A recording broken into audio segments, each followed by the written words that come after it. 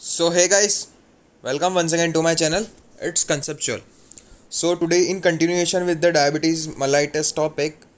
in previous video we discussed about the type one diabetes mellitus and in this video we not discuss about the type two diabetes mellitus okay so it is मैंने आपको बताया था कि वो ninety जो ten percent of the world population में जो diabetes mellitus पाया जाता है, उसमें से उस वो टेन परसेंट का भी ten percent is of the type one diabetes mellitus and about ninety percent और more than that also can be affected by the diabetes type two mellitus okay so type two diabetes mellitus is that very common and so it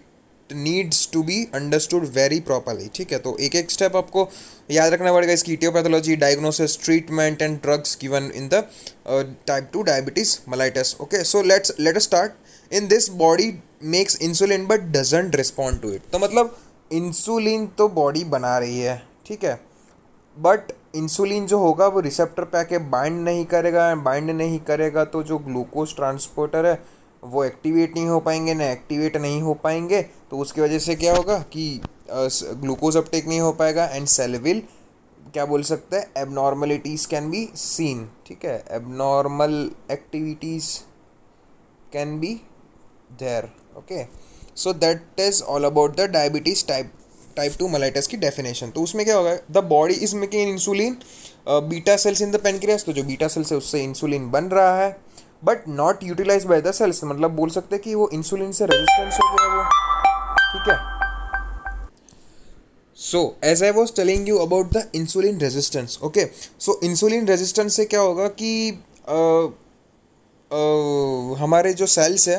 वो insulin ले ही नहीं पाएँगे and insulin नहीं ले पाएँगे तो मैंने आपको क्या बोला? ग्लूकोज जो है, वो सेल में एंटर नहीं कर पाएगा एंड सेल में एंटर नहीं कर पाएगा तो हम, कौन सी एबनॉर्मलिटीज़ है, वो आपको आगे बताएँगे, ठीक है? तो basically insulin resistance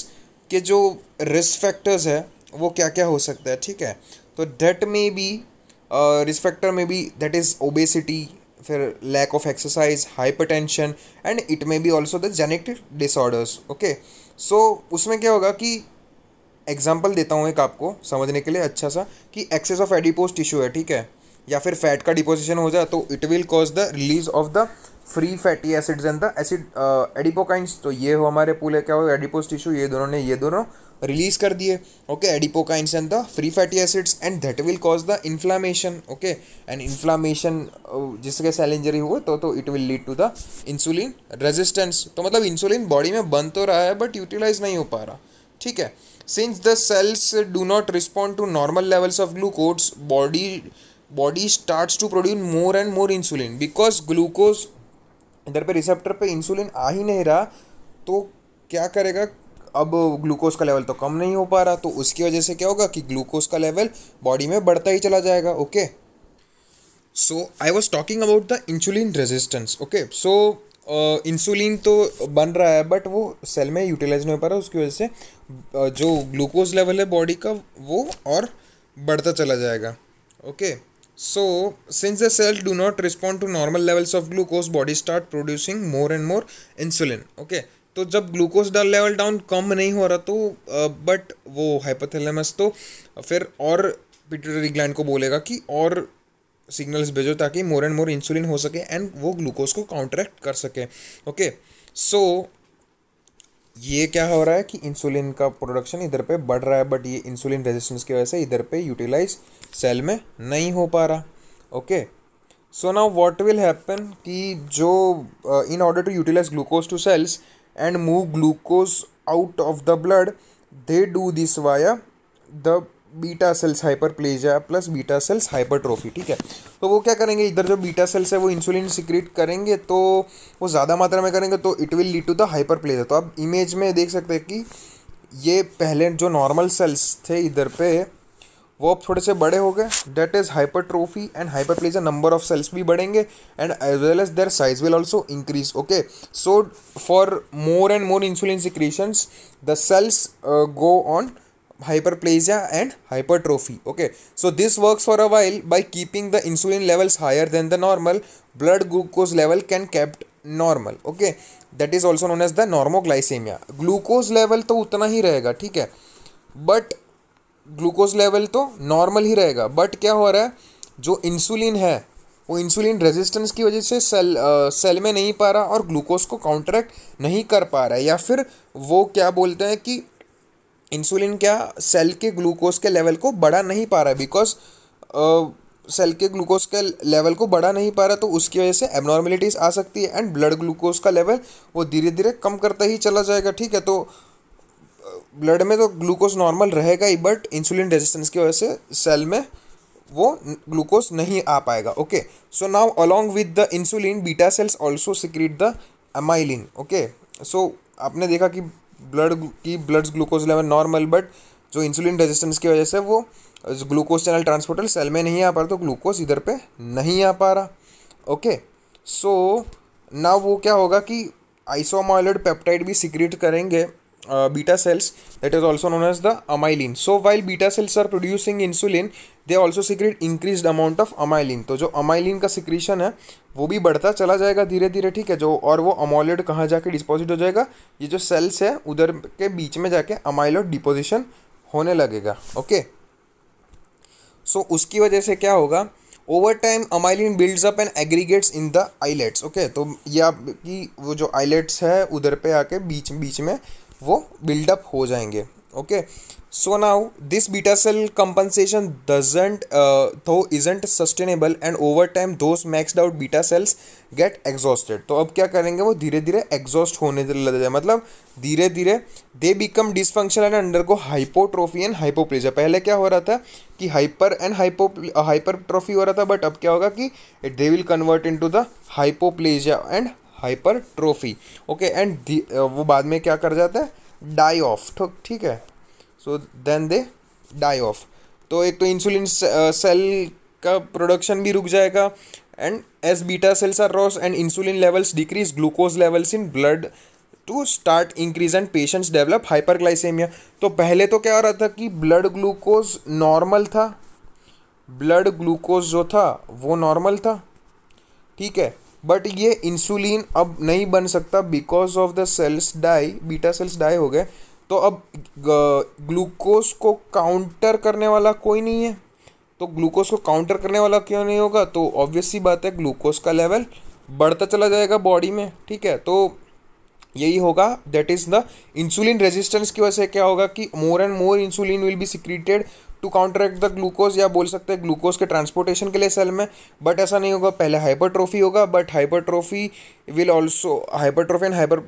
hyperplasia of the beta cells के साथ इंसुलिन का प्रोडक्शन इंक्रीज तो बढ़ेगा थोड़ा बट ओवर टाइम वो अमाइलिन पेप्टाइड भी सिक्रेट करेंगे and that amyloid peptide will deposit between the cells and over time that will cause the hypoplasia and hypotrophy and the cells will slowly die off and वो die off हो जाएँगे तो उसकी वजह से फिर क्या होगा कि अब काउंटरैक्ट करने वाला ग्लूकोज का कोई नहीं तो अब जो ब्लड के ग्लूकोज के लेवल से वो बढ़ने चालू हो जाएँगे। सो so, वो नॉर्मो ग्लाइसेमिया से एक हाइपर स्टेट में चले जाएँगे that is hyper glycemia okay so that will from normoglycemia that is normal glucose level they will shift towards the hyperglycemia okay so hyperglycemia हो जाएगा उनको and similar uh, conditions such as the polyphagia glycosuria polyuria and polydipsia the polydipsia means thrust continuously due to dehydration polyuria means bar bar frequent urination okay so bar bar urination होता चला जाएगा तो उसकी वजह से क्या होगा frequent urination की वजह से डिहाइड्रेशन होगा and glycosuria that is glucose in the urine and polyphagia means हमको हंगर फ्रीक्वेंट हंगर भी लगती चले जाएगी। तो that are the similar symptoms such as the diabetes mellitus okay so generally there is some circulating insulin in type two diabetes mellitus from the beta cells that are trying to compensate for the insulin resistance okay so इसमें क्या होगा कि आ, कुछ थोड़ा सा insulin जो होगा that will be still still circulating in diabetes type two mellitus ठीक है? From the beta cells that are trying to compensate the insulin जो जो इंसुलिन रेजिस्टेंस को ओवरकम करने के लिए इंसुलिन थोड़ा रहेगा ही। This means insulin glucagons balance in such that कि जो डायबिटीज़ कीटोएसिडोसिस वो नहीं डेवलप कर पाएगा, ठीक है? तो इधर पे ऐसा कुछ होगा नहीं। तो मैंने आपको बोला कि डायबिटीज़ टाइप वन का हाइपरग्लाइसेमिया की वजह से polyphagia glycosuria polyuria and polydipsia such as diabetes type one but इधर पे डायबिटिक केडोसिस में क्या हो रहा था? Due to the hormonal imbalance ठीक है? तो हार्मोनल इम्बैलेंस की वजह से उधर पे क्या हो रहा था कि ग्लूकोज ढंग से नहीं बन पा रहा था तो it was shifting to the alternate sources that is ketone bodies that was प्रोडिंग producing the keto acids and acid was decreasing the pH and causing the acidosis that is known as the DKA also known as the diabetic ketoacidosis that is DKA but इधर पे ऐसा कुछ नहीं होगा because इधर पे insulin and glucagon का level तो लगभग लगभग सेम ही है तो और एक कॉम्प्लिकेशन इधर पे होगा that is the hyper osmolar hypo hyper glycaemic state okay that is H H S that is cause increase in plasma osmolarity due to the extreme dehydration and concentration of the blood. ठीक है? क्या होगा कि it can cross increase in plasma osmolarity increase हो जाएगी and extreme dehydration and concentration of the blood तो it will also lead to the मतलब dehydration extreme हो जाएगा। तो उसको अंडरस्टैंड करने के लिए हम क्या करेंगे कि we remember that the glucose is a polar molecule ठीक है? तो ये एक पोलर मॉलिक्यूल है मतलब चार्ज के साथ होगा, कुछ ना पॉजिटिव या negative okay so that cannot passively diffuse across the cell membrane तो वो ऐसे ही सेल मेम्ब्रेन में नहीं जा सकता. That will required some transporters okay so when levels of glucose are super high in the blood that is the hyper osmolar state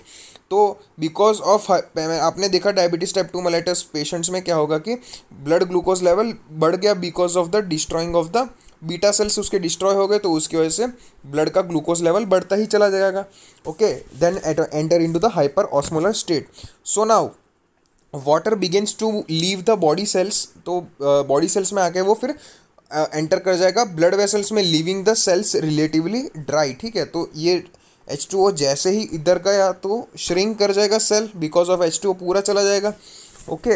and blood vessels are full of water and lead to the increased urination and total body dehydration तो जो भी ज़्यादा पानी होगा that will lead to the increased urination and that will cause the total body dehydration okay and that will also cause some mental changes this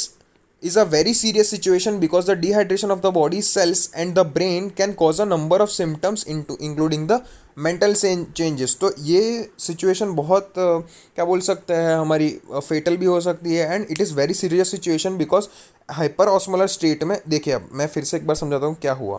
glucose polar molecule है तो simple सी बात है, वो इधर से एंटर नहीं कर पाएगा, ठीक है? तो एंटर करने के लिए वो क्या करेगा कि एक ग्लूकोज बॉडी लेवल बढ़ा तो इधर से इधर पानी को खींचने के लिए क्या करेगा? वो इधर पे हाइपर ऑस्मोलिटी बढ़ाएगा तो अब ऑस्मोटिक प्रेशर मेंटेन करने के लिए water H two O cell से बाहर आएगा और वो ग्लूकोज के साथ मिक्स होगा, ठीक है? तो उसकी वजह से क्या होगा? आप देख सकते हैं सेल से पानी बाहर गया ओके इधर पे। And that will lead to the shrinkage and जो इंक्रीज वाटर लेवल्स है, उसको बाहर या मेंटेन करने के लिए इंक्रीज यूरिनेशन होगा and that will lead to the total body dehydration and in serious condition it may also lead to some mental status changes okay so in hyper hyper क्या था? Hyper molar hyper glycaemic state that is H H S hyper molar hyper hyper molar hyperglycemic state mild ketonemia and acidosis is seen ठीक है? तो mild ketonemia and acidosis is also seen so diabetes mellitus के सब types भी है that is gestational diabetes that have occurs in the pregnant woman and have high blood glucose usually occur in the third trimester ठीक है? और वो किसकी वजह से होगा? Because of the hormone secreted okay and the second one is the drug induced diabetes occur due to the side effects of the medication leads to the increased blood glucose level okay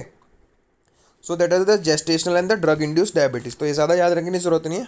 but जो आगे है diabetes mellitus type to की या बोल सकते हैं अब इधर पे पूरा कॉमन हो रहा है ठीक है? Diabetes mellitus type one as well as type two का डायग्नोसिस एंड ट्रीटमेंट हम साथ में ही देख लेंगे ओके सो so, अब से ये जो भी है वो डायग्नोसिस अलग से भी पूछी जाती है एंड प्रैक्टिकल्स में आगे आपको बहुत काम आएगा so please guys listen it carefully okay so the first test the first diagnosis that is fasting glucose test okay तो जो फास्टिंग ग्लूकोज टेस्ट में होगा तो हम क्या करेंगे उसमें कि फास्टिंग ग्लूकोज टेस्ट में no need to drink drink something beverages और food for eight hours but हम पानी पी सकते हैं, ठीक है? तो अगर प्री डायबिटिक पेशेंट होगा तो नॉर्मल लेवल जो हो सकता है that is hundred to one twenty five M G per D L that is the fasting glucose level उतना तो होना ही चाहिए ठीक है? तो दैट इज़ नॉर्मल बट अगर डायबिटिक पेशेंट होगा तो that will lead to the more one twenty more than one twenty six M G per D L glucose okay the second test is a non fasting और random glucose test तो उसमें क्या करेंगे? Glucose given to the patient and measured at the intervals of मतलब कोई भी inter fix interval जैसे कि वन आवर्स या टू आवर्स ले लिया, कि ऐसे हम फिक्स्ड टाइम इंटरवल्स पे सब मेजर करेंगे ओके ठीक है? तो उसमें क्या होगा कि जो डायबिटिक जो प्री डायबिटिक पेशेंट होगा तो उसका तो हम लेंगे नहीं बट जो डायबिटिक पेशेंट होगा that will be more than two hundred M G per D L ठीक है? तो two more than two hundred M G per D L अगर कोई भी रैंडम ग्लूकोज टेस्ट आ जाए तो दैट विल लीड टू या फिर initial symptoms of the diabetes okay the third test is the oral glucose tolerance test okay तो उसमें क्या करेंगे कि glucose given to the patient and measured at intervals that is one और two hours sorry ये non fasting and random glucose में मैंने आपको गलत बता दिया। नॉन फास्टिंग और रैंडम ग्लूकोज नाम ही बता रहा है कि कभी भी और कब, कहीं पे भी ले सकते हैं हम। रैंडम ग्लूकोज ठीक है? एंड जो मैंने आपको इंटरवल टाइम का बताया था that is all oral glucose tolerance test ठीक है? सॉरी गलती हो गई मुझसे। You should correct non fasting random glucose any time it can be taken but the oral glucose tolerance test is taken at certain interval such as one और two hours okay तो pre diabetic patients होंगे तो उसका जो level होगा that is one forty to one ninety nine approximately M G per D L and अगर diabetic के patients होंगे तो that will be more than two hundred M G per D L okay so one of the most important diagnosis that is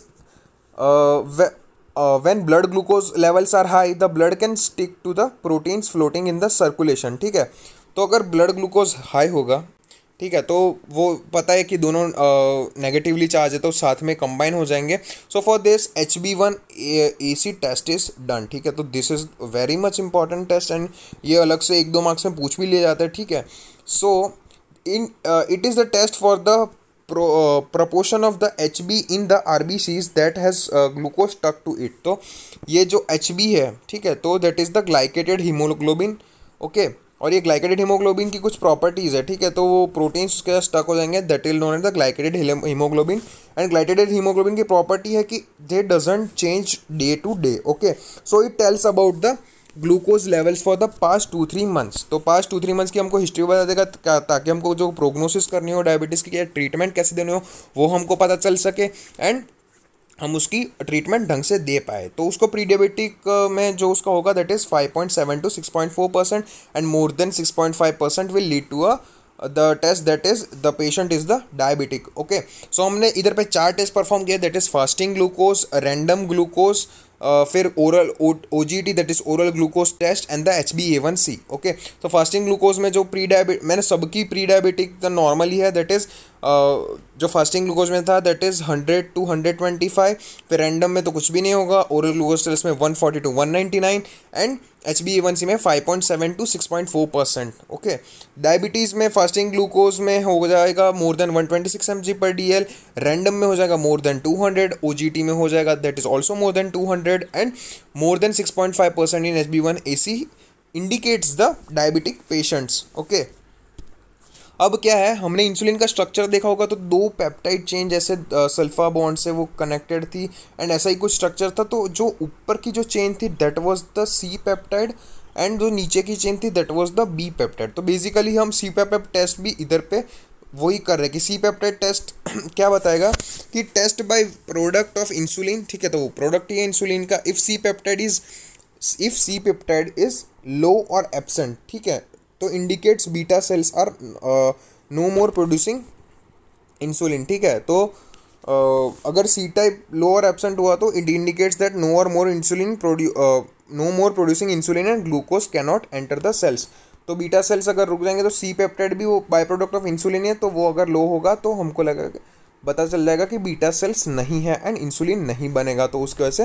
glucose level high रहेगा हमारी body में okay so treatment goes like this diabetes type वाले one में तो मैंने आपको बताया था insulin therapy and it can not be prevented okay but मैंने आपको बताया था कि diabetes mellitus type two can be prevented okay तो लाइफ स्टाइल चेंज करनी पड़ेगी that is weight loss exercise healthy diet खाओ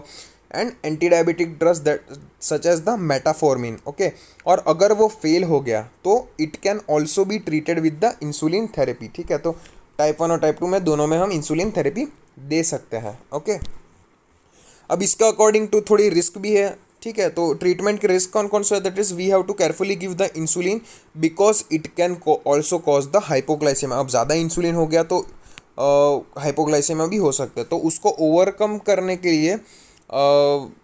क्या कर सकते हैं? पहले तो हम सिम्टम्स देखते हैं हाइपोग्लाइसेमिया के। That is weakness hunger and shaking हो जाएगी हाइपोग्लाइसेमिया में। तो उसको ओवरकम करने के लिए we can drink juice we can eat candy और शुगर ठीक है तो हम उससे ब्लड शुगर बढ़ जाएगा ओके बट जो नॉर्मल सिम्टम्स थे that is shaking hunger and weakness but in severe cases it can also lead to loss of consciousness and हमको सीजर्स भी आ सकता है, ठीक है? तो overcome that we can give the IV insulin, okay? IV insulin should be given in the emer- emergency, okay? so no, normal symptoms को cover करने के लिए तो शुगर है कैंडी है and we can drink the orange juice या फिर कोई भी जूस पी सकते हैं and loss of consciousness and seizures are the क्या बोल सकते हैं? सीवियर केसेस में हो सकता है and we can give the I V insulin and अभी अभी एफ़ डी ने अप्रूव भी किया है कि intranasal glucagon can also be given in the severe hypoglycemia, okay? So, hypoglycemia हो सकता है इंसुलिन ट्रीटमेंट के वक्त, उसको ओवरकम करने के लिए जूस शुगर या कैंडी एंड फिर इमरजेंसी या फिर सीवियर केसेस में आईवी आईवी इंसुलिन या फिर इंट्रानेजल ग्लूकागॉन हम दे सकते हैं okay so now leading to the some of the complications of the uncontrolled diabetes तो अगर हमने डायबिटीज़ कंट्रोल नहीं किया तो ओवर टाइम क्या क्या हो सकता है हमको? So over time increase blood glucose level can cause damage to the tiny blood vessels called as the microvasculature okay and in arterioles causing the hyaline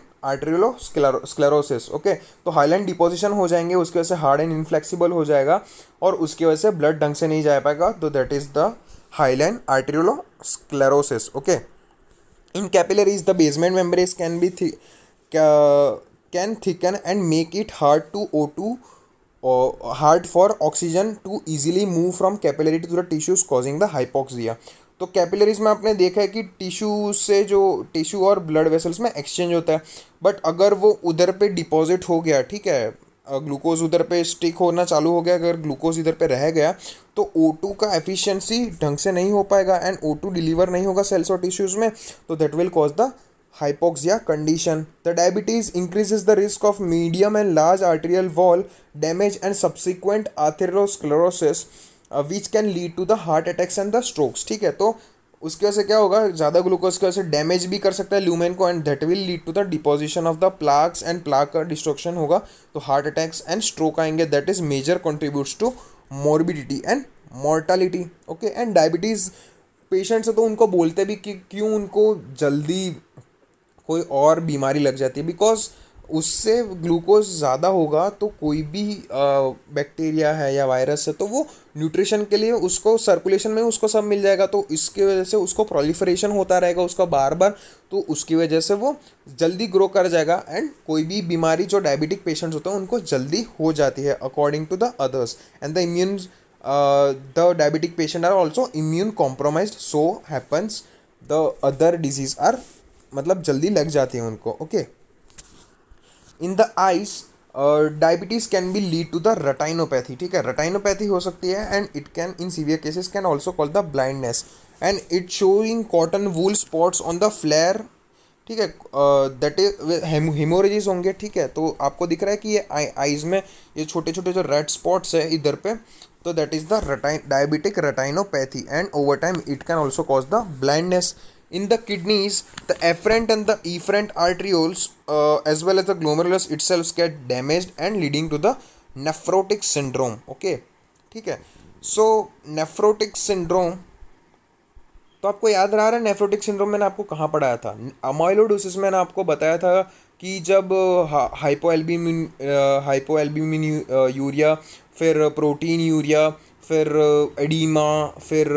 osmotic pressure का ना मेंटेन करना। तो that were all factors of the nephrotic syndrome and diabetes mellitus is also one of the factor of the nephrotic syndrome okay and nephrotic syndrome की ऐसे क्या होगा कि it will lead to the decrease ability to filter the blood over time and it may also lead to the renal failure okay so kid हमने कौन से कौन से देखा? मैं आपको फिर से बता दूँ दैट इज़ मीड आर्ट्रियोल देखा, फिर कैपिलरीज देखी, फिर मीडिया में large wall arterial wall देखा, ठीक है। हाइलाइन आर्टेरोस्क्लेरोसिस फिर hypoxia, atherosclerosis, retinopathy nephrotic syndrome and now moving out diabetes can also affect the function of the nerves causing symptoms like decrease in देंशन sensation of the toes and fingers that is stocking glove distribution okay and poor blood supply plus nerve damage leading can cause the ulcers usually in the feet okay and if they don't heal quickly ठीक है and they are pretty severe it it need to be amputated और amputated का मतलब क्या? निकाल ही देना पड़ेगा, ठीक है? तो अगर एक बार अल्सर्स वो नहीं हो पाए, ठीक तो we have to remove the whole okay and diabetes mellitus में हेल्दी लाइफस्टाइल मेडिकेशन या फिर इंसुलिन थेरेपी से हम प्रिवेंट कर सकते हैं। मैंने आपको बताया था type two can be prevented but type one can not be prevented so that was all about the diabetes मैंने दो पार्ट में वीडियोज़ बनाए एंड जो डायग्नोसिस एंड ट्रीटमेंट एंड जो कॉम्प्लिकेशन है, वो दोनों के थे common but diabetes type two में आपको याद रखना है. That is the H H S that that is hyper osmolar hyper glycaemic state, ठीक है? Hyper osmolar hyper glycaemic state आपको याद रखना है डायबिटीज़ टू के कॉम्प्लिकेशन में एंड डायबिटीज़ टाइप वन के केस में आपको डायबिटिक कीटोसिडोसिस याद रखना है। तो होप आपको ये पूरा वीडियो समझ में होगा गाइस ठीक है? और ये डायग्नोसिस में मेन आपको H B one A C के बारे में याद रखना है because of the glycated haemoglobin it does not change day by day and glucose and gives the glucose level for past two और three months so it is very much important and hyper osmolar hyperglycaemic state की जो mechanism है, जो hyper ऑस्मोलिटिकल से cell shrink हो जाएगा and cell shrink होने की वजह से increase urination that will lead to total dehydration and in severe condition it can lead to the mental status changes also okay so I hope आपको पूरा video समझ में होगा गाइस अगर कोई भी डाउट हो तो मुझे बताइएगा आप कमेंट सेक्शन में. एंड अगर आपको ये पसंद भी आ रहा है तो please do like share and subscribe to my channel and for all the hand written notes you can subscribe to my Telegram channel मैंने उधर पे मेरे नोट्स डाल दिए है तो you can check it just that out also and again so so, अगर आपको समझ में आया होगा तो फिर और सजेशंस भी अगर कोई लीव करना तो leave in the leave the comments below और मुझे जानिए मुझे बताइए कि आप क्या फ़ील करते हैं? क्या आपको कोई इम्प्रूवमेंट चाहिए? तो मैं उसको अप्लाई करने की कोशिश करूँगा। So thanks guys once again and until then stay safe stay happy stay cool see you next time thank you